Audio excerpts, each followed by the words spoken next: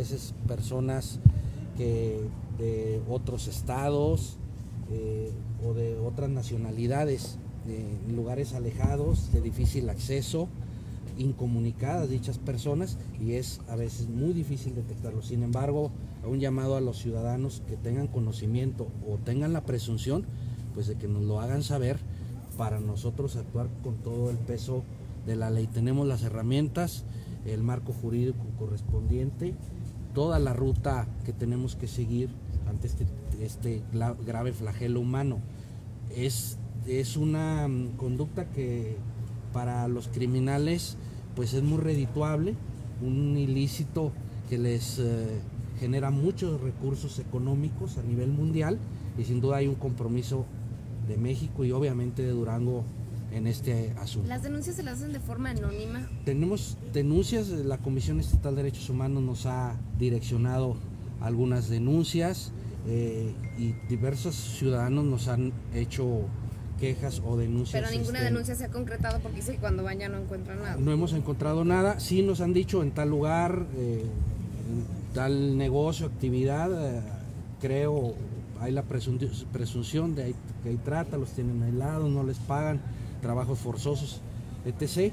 Pero no hemos encontrado nada. Incluso en uno de los eh, ranchos agrícolas donde nos hicieron la queja, en uno de ellos, pues era un eh, patrón que trabaja recurrentemente con el Servicio Nacional de Empleo en los temas de movilidad, o sea, sí está debidamente eh, en el marco de la ley y no tiene ningún, ningún problema. A veces también la gente confunde una violación estrictamente de derecho laboral con explotación eh, laboral, ¿no? Pero bueno, nosotros estamos finalmente para atender todo tipo de quejas en dicha materia.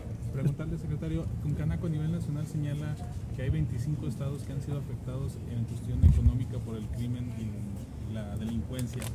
Aquí Durango es uno de los estados señalados de que hay una afectación. ¿Ustedes han detectado que los empresarios eh, o trabajos se hayan perdido por cuestiones de seguridad? No, al contrario, Durango es de las entidades más seguras del país. Eh, ha sido pues un logro, un compromiso no solamente el gobierno, sino de la ciudadanía en general, de tener, de que haya tranquilidad. Hay paz laboral, eso también es importante para las inversiones, hay seguridad pública, eh, estamos con los temas de infraestructura, que es un compromiso del gobierno del estado, de desarrollo económico, y entonces vamos, vamos bien, somos de las 10 entidades con mayor crecimiento en materia de empleo formal, pero también tenemos muchos eh, rezagos, pero en materia de seguridad, pues Durango es una, una entidad tranquila para invertir. Em, ayer estuvimos en la región Laguna entregando estas constancias y, fue una zona también muy golpeada por, por el crimen. Hoy hay estabilidad, hay paz y pues la gente anda, sobre todo los empresarios laguneros que son eh, pues muy dinámicos, pues le están apostando al crecimiento y consolidación de sus empresas. Explotación laboral con personas eh, adultos mayores e indígenas identificados. Eh, son de, obviamente los grupos más, más vulnerables que existen, sobre todo los migrantes, es decir, las personas que salen de sus comunidades y, y uno de los mayores expulsores pues, de trabajadores, sobre todo en, el campo, en el área agrícola, pues son los indígenas. Hemos hecho hasta ahorita supervisiones, eh, vigilancias en, dichos campos y no lo hemos, no lo hemos detectado. Digo, hemos encontrado algunas otras irregularidades eh, estrictamente de carácter laboral que nuestros inspectores atienden, hacen las recomendaciones, levantan actas administrativas para darle su seguimiento legal. Hasta ahorita nada, pero repito, no puedo echar este, las eh, campanas al aire. Es un tema que en cualquier momento se nos puede presentar y lo bueno de esto es que tenemos los, eh, nuestros funcionarios capacitados eh, para atender este flagelo humano.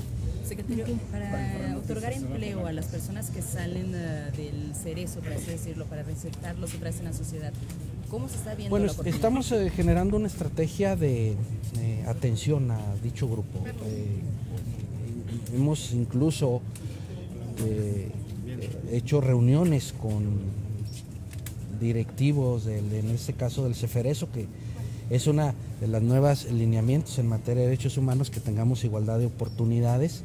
Y en ese sentido, eh, estamos trabajando en un, en un, proyecto junto con Seguridad Pública del Estado para darles eh, talleres de oficios, eh, certificaciones y obviamente de cómo conducirse para poder adquirir un empleo, también de sus derechos laborales, que también es fundamental promocionar, socializar los derechos a los que tienen los eh, pues eh, nuestros empleados, nuestros trabajadores en cualquier actividad que realicen y en ese en ese, en esa mm, estrategia de trabajo estamos. Mm, próximamente ya que lo tengamos consolidado lo vamos a dar a conocer y obviamente en los talleres eh, pues creo que van a ser pues una gran oportunidad para estas personas que por desgracia siguen estigmatizadas, siguen satanizadas, son obviamente excluidas. Eh, el tema de las cartas de no antecedentes penales, pues son, son cosas que necesariamente tenemos que cambiar. Ya no debe de ser requisito en ninguna empresa, en, en ninguna institución pública o privada, solicitar dicho documento, el examen de gravidez, ese tipo de requisitos pues deben de ir desapareciendo de las normas de las eh, internas o reglamentos de las empresas para que ya no se les soliciten a absolutamente a nadie. ¿Sería también cuestión de presentar alguna iniciativa en el Congreso del Estado? Sí, fíjate. Bueno, eh, más que eso eh, es básicamente es inconstitucional, es decir...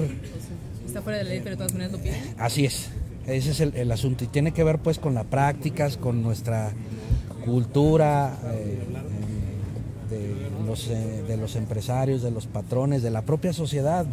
No dejamos, no dejamos de seguir eh, señalando a las personas que han purgado una pena, no los vemos como personas readaptadas, no los vemos como iguales, los estigmatizamos y, y, eso jugamos un papel todos. Entonces sí, o a las personas que en algunas empresas les como requisito que no tenga ningún tatuaje, ninguna perforación. Pues ese, esos asuntos los tenemos que ir eh, haciendo a un lado en nuestra sociedad.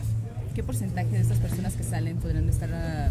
Eh, es de los grupos vulnerables, así como adultos mayores, jóvenes, personas con discapacidad, pues son de los segmentos que poblacionalmente eh, pues tienen menores oportunidades y menor porcentaje de colocación. Estaremos hablando de un 30% de esas personas que han este, salido de, la pues de purgar una pena. Secretario, el día de hoy entregan certificados, constancias de certificación. ¿A quiénes y qué beneficios va a traer? Bueno, estamos, estamos entregando certificación de eh, detección a víctimas de trata de personas.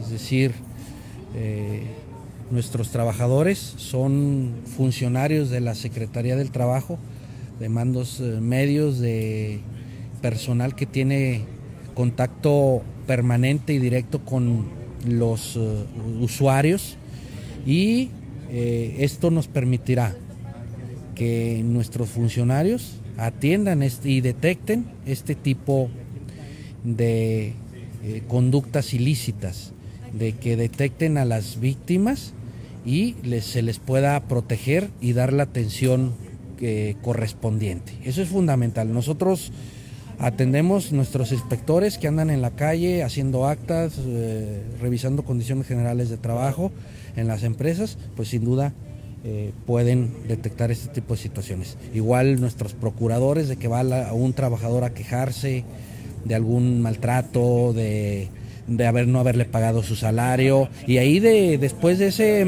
de esa queja de hechos pues pueden sin duda detectarse este tipo de situaciones. Entonces tenemos que eh, tener a nuestros funcionarios. Si queremos combatir algo pues hay que saber de qué se trata. Entonces en este caso ya nuestros funcionarios están, están debidamente capacitados para detectar las víctimas. personas aquí en, A ver, es, es un ilícito.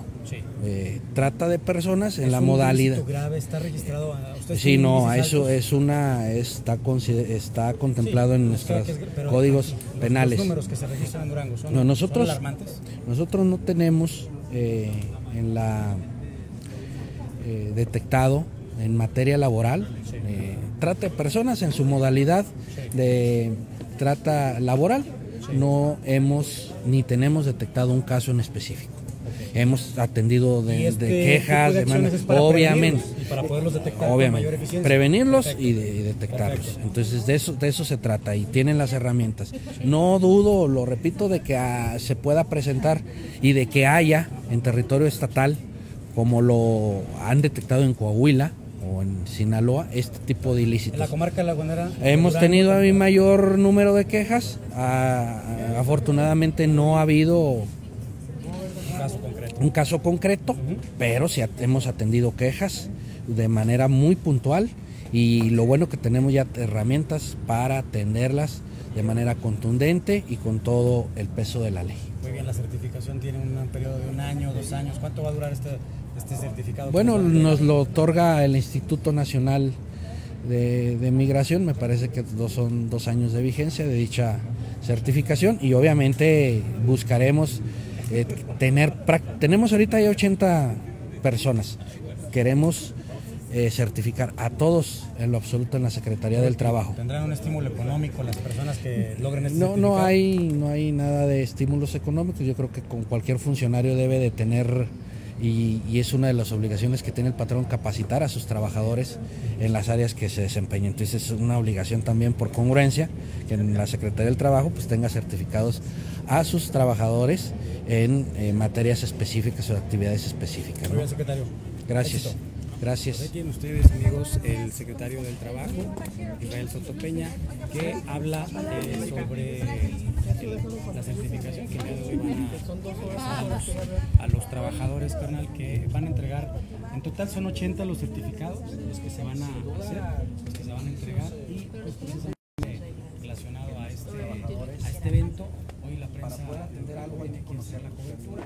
Este, es un acuerdo que se tiene con la delegación de migración. y Bueno, es un trabajo un avance que hace en este caso trabajo acá Hoy, sí, importante porque pues, pareciera que en Durango a lo mejor eh, hacernos de la vista gorda y no creen que exista un problema como la trata de personas. Suponemos que eso ocurre en ciudades grandes, en los puertos, en otro tipo de lugares y sin embargo, este, pues, los casos ahí están. Lo que está haciendo la Secretaría de Trabajo es capacitar a que sepa identificar y detectar para que cuando un reporte o una visita a una empresa sepan más o menos cómo decir bien.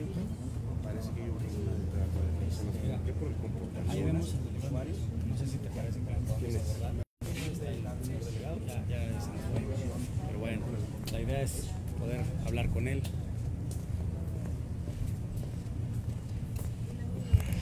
Vamos a tratar, amigos de en vivo, a abordar